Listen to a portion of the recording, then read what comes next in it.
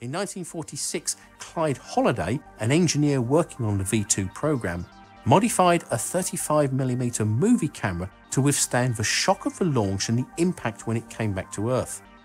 On October 24, 1946, the camera, which used Eastman Kodak Super XX film running at 4 frames per second, was mounted into an aluminium case with 10mm thick walls and into the body of a V2 rocket, and then launched to a height of 107 kilometers. This was the first time that anyone had seen the Earth from the edge of space.